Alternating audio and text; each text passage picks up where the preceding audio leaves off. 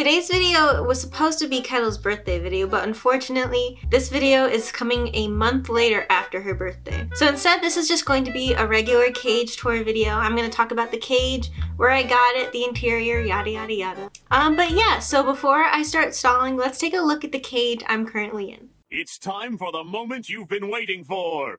Duh.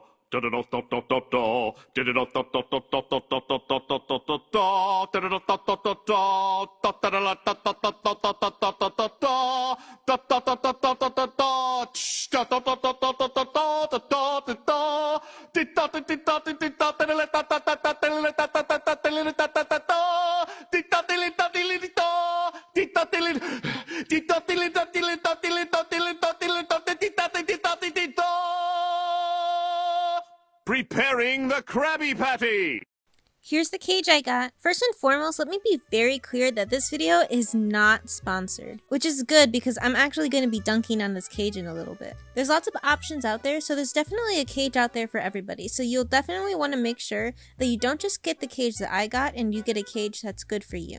By the way, this cage is actually marketed as a cat patio, but we're going to ignore that because on this channel, we all worship Kedle. So now, this cage is a pigeon cage. Another thing I want to mention is a lovely post on Reddit by the account name on screen.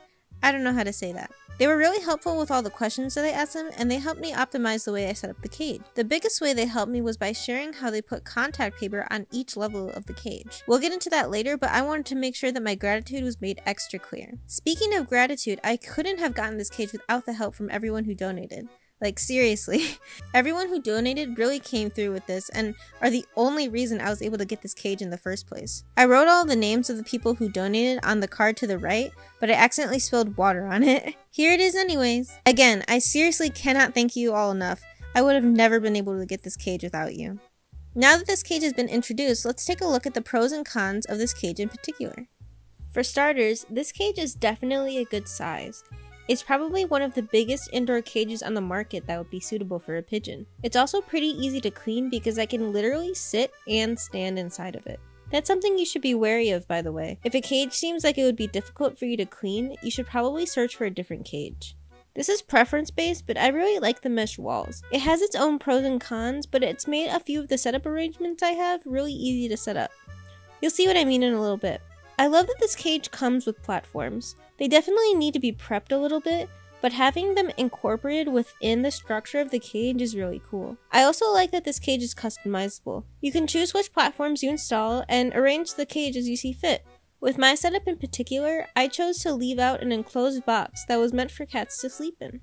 The last pro of this cage that I'm listing is the appearance.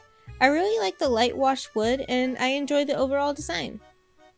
Now let's take a peek at the cons. The most obvious con is the price.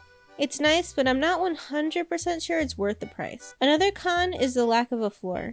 When we explore the interior, I'll talk a little bit about how I handled that and then what my permanent solution is going to be. Another big con is how hard it is to assemble.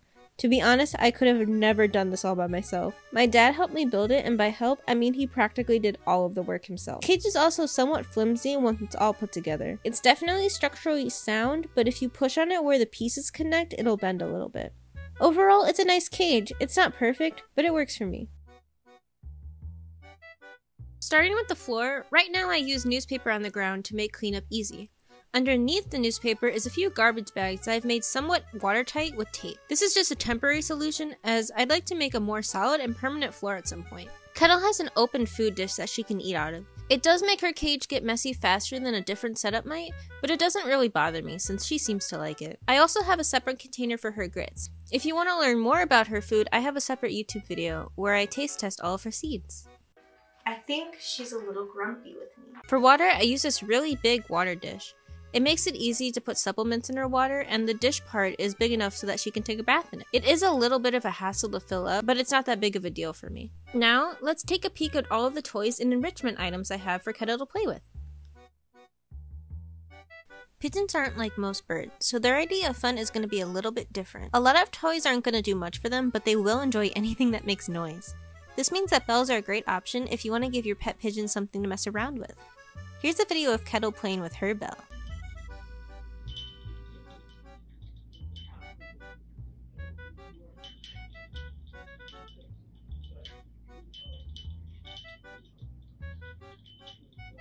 Having lots of colors and textures can also be fun for pigeons. Just make sure that the toys are safe for them to use.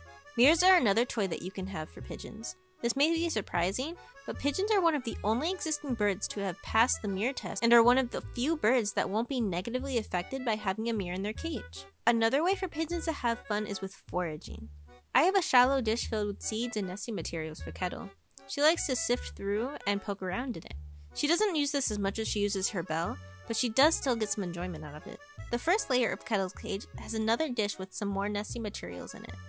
It also has a little cover and Kedle seems to really like it. Kedle doesn't regularly lay eggs, but if she were to lay eggs, this would provide her with a cute little area to feel nice and secure.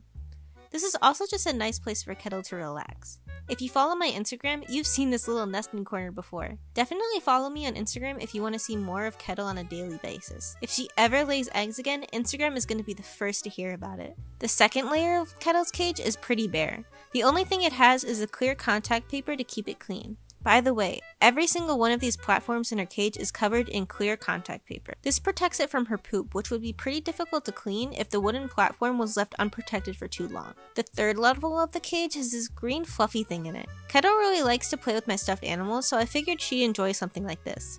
It's not quite big enough for her to use it like a smaller bird would, but I don't really need to worry about her eating it since she's not really one to rip at fabric or anything like that. Right now, I have it secured to the mesh on the wall of the cage with a few elastic hairbands.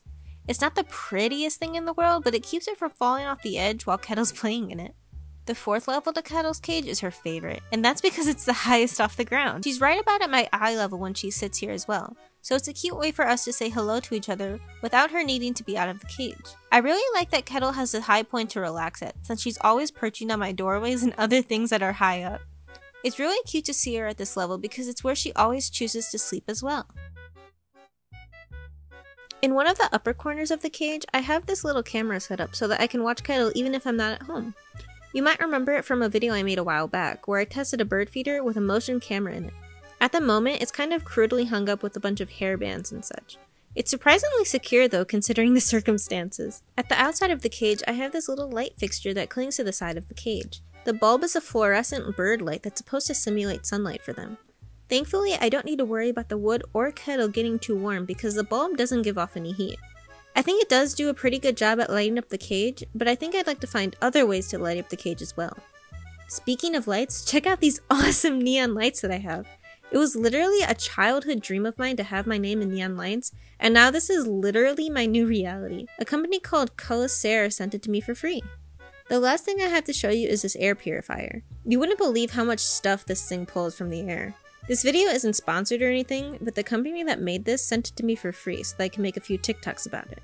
I hope this video was helpful. If you want to see a video about how I clean the cage, just let me know in the comments below and leave a like. Uh, if you want to talk with me in the community more directly, you can join my Discord that's in the link it's in my bio, whatever, the description. There we go. I also have an Instagram where I post more like daily updates about Kedle and my other pets and me and stuff.